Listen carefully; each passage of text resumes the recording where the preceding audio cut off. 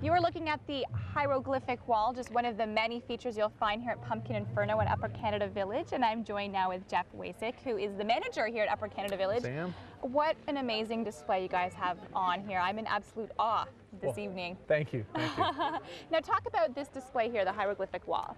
Well, like a lot of our displays that we have here this year, this one was one of the ones that we had last year. Okay. Um, now we've split this one apart and we've added some new features to it, including the sarcophagus, Okay. which is uh, one of the big projects that our students underwent this year. This is obviously a big draw, this hieroglyphic wall. It's pretty Sure is. amazing, but I mean, there's lots of amazing features throughout, you know, the village itself. You guys have totally transformed this.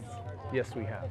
And how many pumpkins do you figure you have here? We have about 7,000 pumpkins. it's about a 25% increase over last year. Wow. Um, And you've made lots of changes since last year, including having larger pathways for people to move through. Yes, one of the comments that we heard from our, our visitors last year was that we had um, bottlenecks all over the place. And, Okay. and what we've done is we widened the pathways, Yeah. we've, we've put displays in areas where people can mingle and can look and take their time to, to really take it in. Okay, and it is absolutely beautiful. Um, we're walking up to one of the biggest draws last year, or the biggest draw. Pretty amazing creature we have here. What Yes. is this display? This is the uh, Chinese water dragon. This was Gorgeous. Mm-hmm. set up in our field last year, and as as we were saying earlier, is is that we've used some of the features from of Upper Canada Village to a new, in a new way. Yeah. Um, So you've decided this to put it year on the we water. put it on the mill pond. As you Uh-huh. can see, the reflection is just amazing, It and is just a little bit of a ripple, and it almost looks like it comes to life. So how do you get all of these pumpkins here? How do you put this all together? I mean, there's so much creativity that's involved here. You have a huge team, I imagine.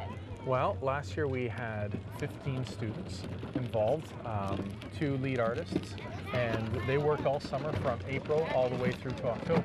Uh, This year we've taken three of those students back and a lead artist, and they've been responsible for doing all of this additional stuff, including the sarcophagus and some extra features on the dragon and our big display, the, the House of Hieroglyphics, or House Yeah. of Horoscopes. House of Horoscopes. Can't wait to see that a bit later on. And it's absolutely amazing that, you know, a lot of this creativity is behind students. And you have a lot of sponsorship involved in this as well. Yes, we have a lot of sponsors for a lot of our, our key displays, and this one, for example, is the City of Brockville. Okay, so you have a lot of partnerships throughout, you know, the park itself. Absolutely. We have lots of partnerships uh, within the park, throughout the park, and with the communities at large. Um, Okay. In fact, the communities uh, right next to us, they're hosting a, a Year of the Pumpkin uh, celebration where they will um, be setting up. And they've encouraged the residents and everything to set up pumpkins all the way along the route of, of Highway 2, all the way here. Oh, wow, that's fantastic. And another great thing is you also have uh, vendors that are open. Some of the restaurants are open this evening. Yes. evenings. Uh, again, something that we heard last year was the food services. We didn't quite have enough. This year we've opened up. Uh, Willard's is open early for reservations. We also open up the Harvest Barn early so that people can come down from Ottawa, from Cornwall, come have dinner first, and then enjoy the show. And one great thing, this is for people of all ages. There's no age restrictions. You know, it's very family friendly. Absolutely. This is a very family friendly event. The youngest children uh, to the oldest adults um, all can have a, a really good time here Right. and enjoy their, their time.